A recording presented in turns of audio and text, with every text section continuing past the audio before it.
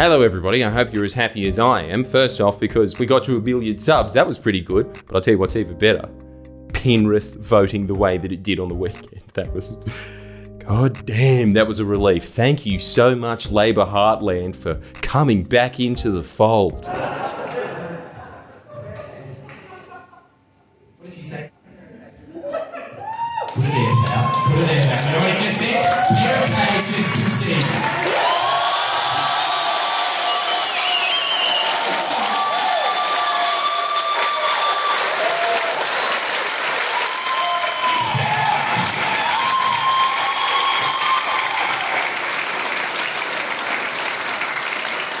We will get to the million subs at another point. I do need to just say thank you to that, but it is such a relief that we have an actual government back in New South Wales after 12 years, and even then, scraping over the line. And the only reason we did, because as you can plainly see with the press, did you see the Sydney Morning Herald a couple of days before the election coming out and endorsing Dominic Perrottet again? And their reason this time, for a fourth time in a row, this is it. Last time it was let them finish the job. I think they acknowledged that, yeah, yeah, okay, it's all done.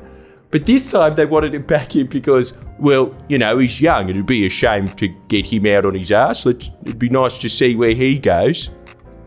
What, like you're growing a big pumpkin for the Easter show or something? This was Nine Fairfax's argument to the public. But Marge, that little guy hasn't done anything yet. Look at him. He's gonna do something, and you know it's gonna be good. And I'll tell you what else I'm very excited about. All these middle class seats with all these mortgage brokers and people that work at H&R Block. They seem to be breaking for the Labor Party. These places that you could not imagine even a couple of elections ago, ever turning out of blue. Your places like your Drummoynes and your Mirandas, just a lot of places that I assume have La Porchetta as a main place that the kids want to go, yeah, yeah, I want to go there for my birthday. All, all those seats seem terrible. What the hell? The Central Coast? What happened to you guys? I thought your entire identity was around the thought of we're not Bondi, but we wish we were. You guys have realised after years of trying to deny it, nah, you're scum like us. You're part of the working class and welcome to the fold. Put Uncle Sam's face on me. We want you, Terrigal.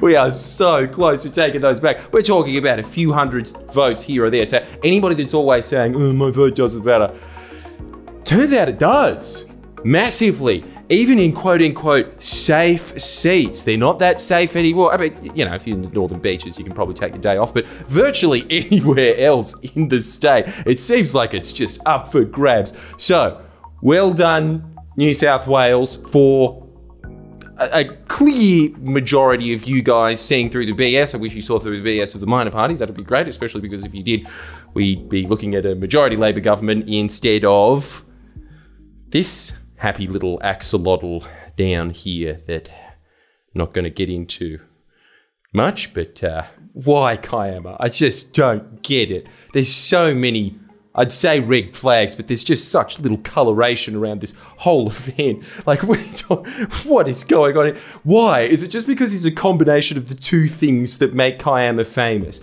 Your Kiama ice creamery and the blowhole meshed into a man. But anyway, other than that, it was a great, great win for all the independents across the country. We, hey, we got in the weed party. That's always going to be fun. Uh, we got in Helen Dalton. Massive margin. That was looking like it was going to be one of those TAB. Yeah, yeah, I kind of don't want Helen to win because I put a lot on her not winning. One of those seats. She smashed it. And how good would this be, guys? Wouldn't this be incredible? Labor and Helen Dalton coalition.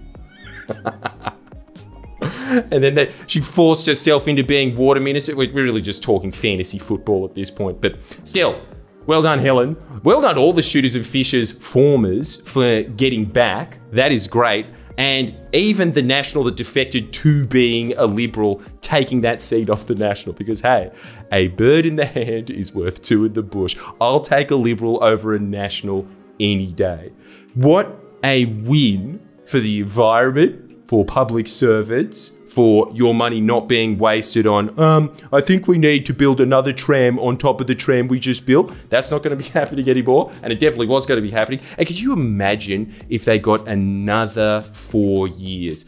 What do you privatise after water? Just cops, firefighters. We're just going to go back to ancient Rome. You're just going to have a private firefighting force and this little card on all of the little bushfire material being like, please swipe slower. Come on, come on. I'm kind of panicking here. Is that going to happen? It's looking like it was moving towards that. You stopped the madness. We're so happy about that. And I just have to say to everybody watching in New South Wales, especially because the feeling was so ecstatic, even in comparison to the federal one, the, the state one there was people dancing in the street when I was walking out of Penrith.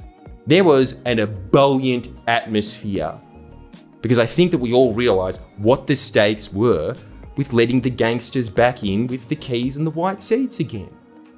I think that people were really clued in and invested in this one, and that's what I think actually got Labor over the line in the end was your enthusiasm. It was you guys arguing with your friends and family because clearly as this election shows, every vote counts. Should be the slogan of every New South Wales election from now on, and probably not WA. I'm sure it doesn't have the same visceral feel as this one did down here.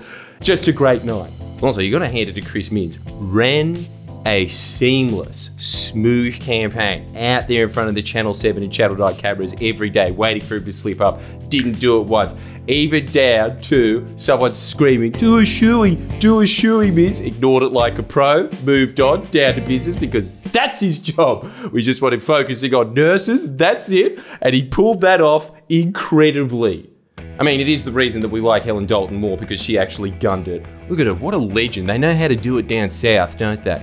I mean, I wish that Chris Minns could do that, but he was obviously playing the wider game and did it well.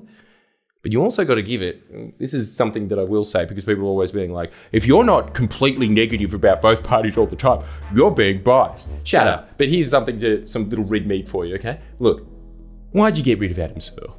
like he did win you that election. we all know it. There is no way that Chris Minns could have won that. I mean, he definitely outperformed Dominic Perrottet, but you're an unknown opposition leader rocking in. There is no way that you're going against the juggernaut that is Berejiklian. It was th- that Bing chicken would eat you like a banana peel. She was so liked by this state. Still to this day, I still talk to family members that were saying, You didn't have to be so cruel to Gladys Berejiklian. Did you know what she did? Yeah, but she's nice, so I, I don't care.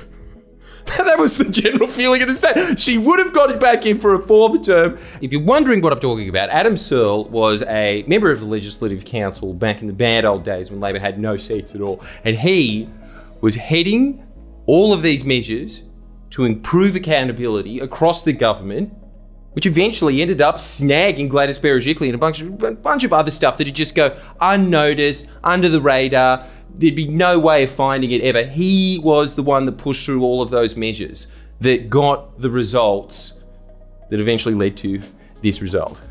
So anyway, like, I know that a lot of people think it's a long bow, but I personally don't. Good on yourself.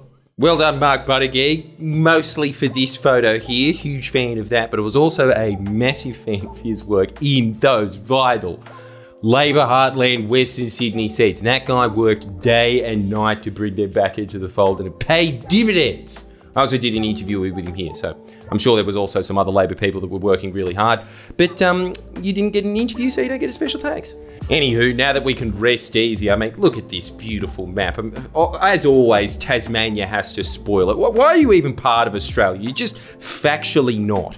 But everyone else, doing a bang up job, which means that we can relax a little more and get back to the content that you all love, which is asking you about times that you were at KFC and some loose shit happened. We actually do have a lot of those videos backlogged because the last few months have been fairly hectic. So I think that you can forgive us for not having the same rigorous upload schedule that we once had, but we'll try and work our way back to that now that Australia can rest easy, knowing that um, water won't go up 600%. So that's very exciting news. On top of that, we have a bunch of other things that are big that are on the cooker. So that doesn't give you an excuse not to watch everything that we post out. Even if we decide to start doing six videos a day, okay? Deal? You're going to watch them all with the same vigorousness? Good. Well, see you next election, I guess. Next stop, Tasmania.